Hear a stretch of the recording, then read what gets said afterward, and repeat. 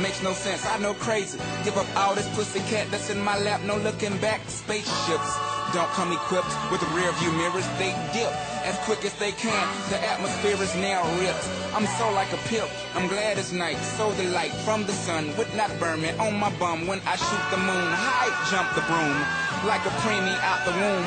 My partner yelling too soon. Don't do it. Reconsider. Read some litter. Sure on the subject. You sure? Fuck it. You know we got your back like chiropractic. If that bitch do you dirty, we'll wipe her ass out as in detergent. Now hurry, hurry, go on to the altar. I know you ain't a pimp, but pimp, remember what I taught you. Keep your heart, three stacks. Keep your heart. Hey, keep your heart, three stacks. Keep your heart. Yeah. Man, these girls are smart, three stacks. These Girls are smart. Play your part. Play your part. Now get to choosing, never, never fuck without a ball. Hey, listen. All right, that was a little bit longer than I thought it was. but I counted, I counted, I think, nine different, like, tight ass, very witty metaphors just in that one little verse just now. We know you got your back like chiropractics. that nigga said, you know we got your back like chiropractics. Wow. I love that boy. Yes, sir.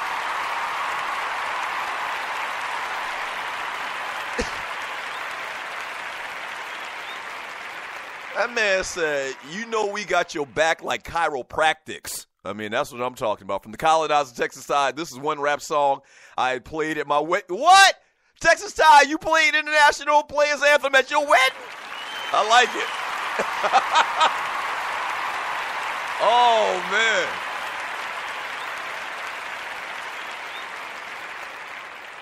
That might be the metaphor of the century. we got your back like chiropractics. From Melvin Doug, I totally disagree. Big Boy is neck and neck with Dre.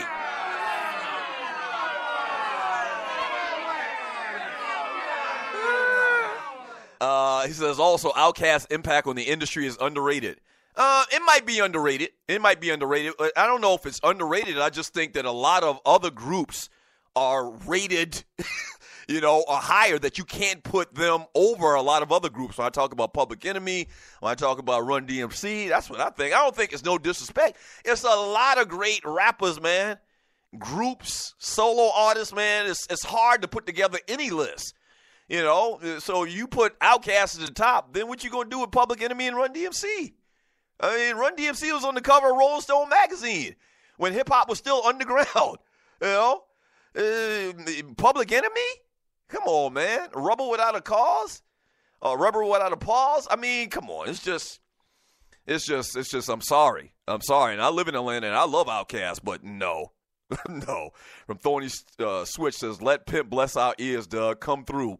From Leonard's uh, Pittsburgh's finest colonizers still scared of Welcome to the Terror Dome 27 years later. Oh yeah, I told the story before when they started to uh, to usher our ass out of the radio station. The guy that they brought in was basically like an axeman. He he was kind of like the dude that dropped the darn blade on your neck back in medieval times in radio. And one of the very first conversations we had several, like every day for like a couple of weeks, it was a different thing he pulled us in office for. This one particular day he pulled us in office. Um, so guys, tell me about this Public Enemy song that you always play at the beginning of your shows.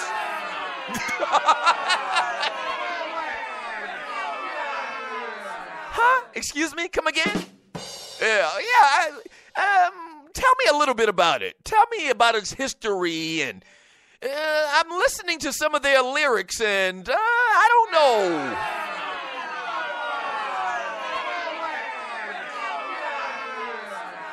Yeah, yeah. From Miss Mocha Bella, why are we talking all this rap music on Woman Wednesday? Can we discuss this on Tribute Tuesday?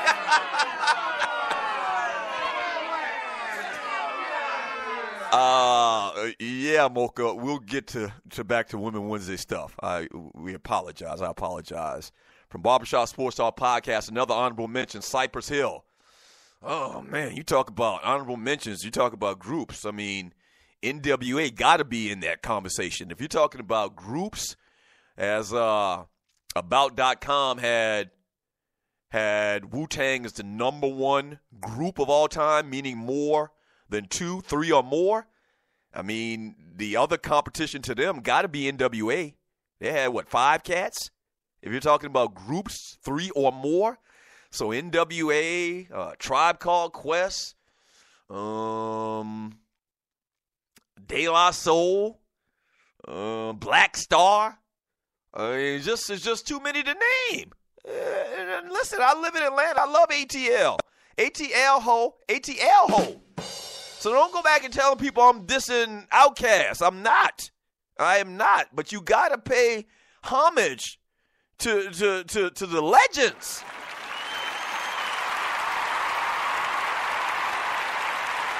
You know we got your back like chiropractics.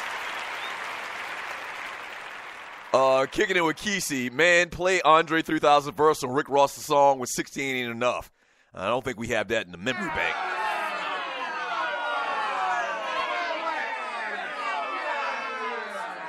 Yeah. Uh, from Vol D, Honey Nut Cheerios 504. What are you, Omar now from The Wire? He says, nah, I respect Big Boy mine, but he ain't in the conversation with Andre. Andre should be in everybody's individual top five rappers of all time. Big Boy, not so much. Exactly. Uh, it's a great way to put it.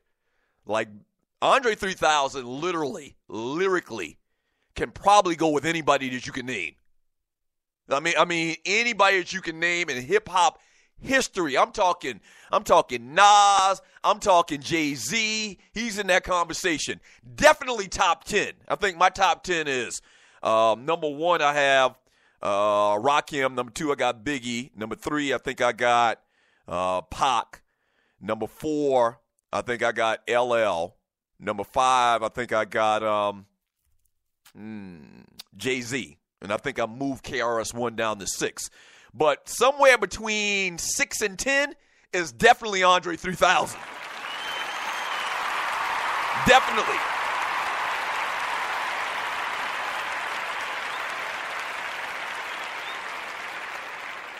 From Melvin, Doug, your South Carolina ways got you blind. Say what's up to Petey Pablo.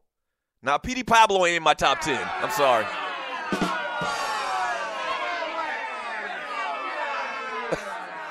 Mo Cheeks for three. He says Public Enemy's Black Steel in the hour of chaos.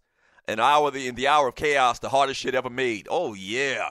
I think we might have that too. Let me see if I can find it.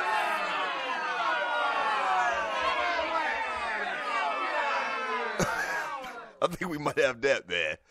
Uh, we talks about uh, uh, music around here on the Doug Stewart Show. You're listening to the Doug Stewart Show. Uh, see if we can pull this up right here. Uh, do we have Chaos of Steel? Uh, do we have Steel?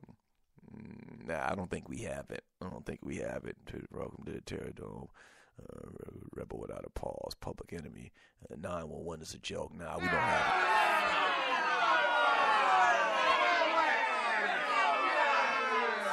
But go to YouTube and look up Black Steel and Hour of Chaos, Public Enemy, man. Classic shit.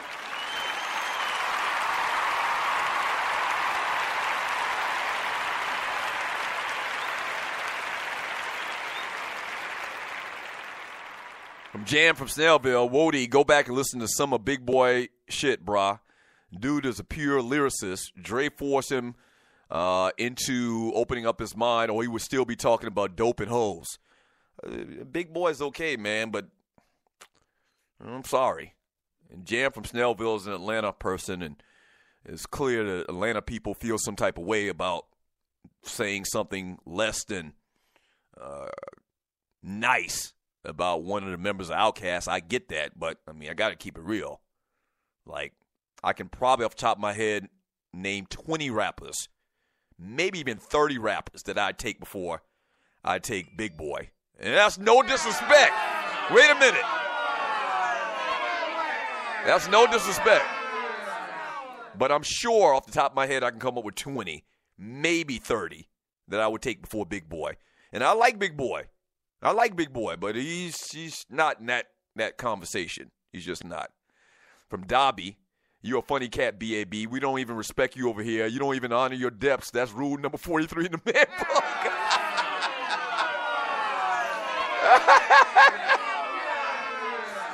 Uh, well said, Dobby. 100% right. You don't even pay your damn debts.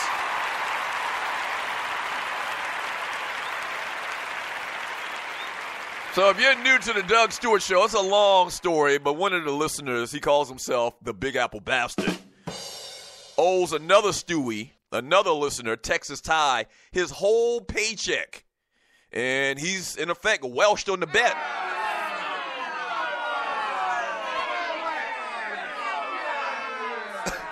right. Uh, he's, in effect, welched on the bet. You know, breaking man law, I think Wody 504 says uh, man law number 43.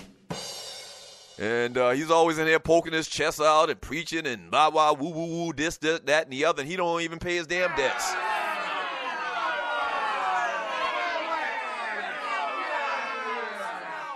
Three thirty four Bama boy, no goodie mob. No, no. I mean, to come up with the groups, man, I would have to sit down and like look at a list and pull names out of a list. But yeah, goodie mob, man. Um, not that long of a uh, a tenure, but lyricists, uh, lyrics wise, uh, very good, very good. And the best lyricist on that that whole squad was uh, what's his name? Big headed boy, young dude. Um, uh, what's his name? Ooh, drawing a blank on his name. Y'all know I'm talking about.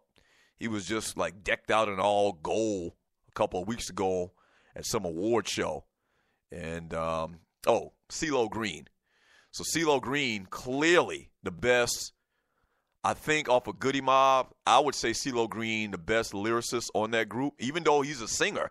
Even though he's like, like CeeLo Green is kind of like Lauryn Hill in that fact that he's um, a fantastic rapper, but really his thing is singing, you know, real traditional singing. Uh, same thing with Lauryn Hill. Lauryn Hill, man, on that mic, man, Lauryn Hill, female MC, shh, uh, one of the best to ever do it. Once again, not a lot of body of work. Uh, but yeah, CeeLo Green, uh, as far as Goodie Mob, I would say probably the best lyricist on that on that crew. Yeah. 404-382-0338.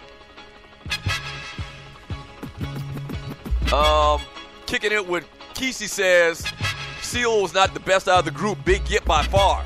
Eh, eh, we can debate that.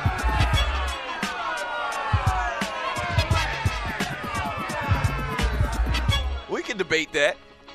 I can go and find some CeeLo Green cuts from from that uh, Soul Food album, man. Uh, I just love his flow. Now, Gipp ain't bad. Gipp is probably in my mind second. But but I would take CeeLo first. That's just my personal opinion. All right, when we get back from the break, man, a little entertainment conversation here on the Doug Stewart Show. Yeah, Bill O'Reilly might be on the way out. We'll talk about that. Uh, birthdays once again. Back into the chat room, doing what we do. This is the Doug Stewart Show. Don't go away.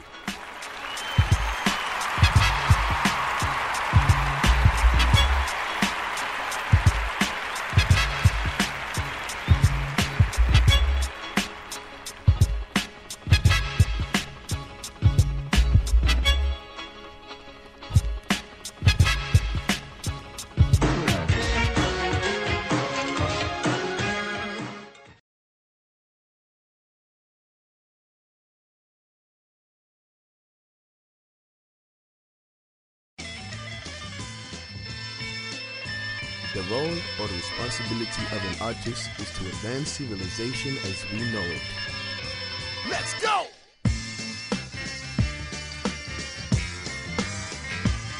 Come on! yeah! Hey! Hey, yo, Cypher Linguistics, man. We on some Stevie Wonder, Paul McCartney shit right here. You know what I'm talking about?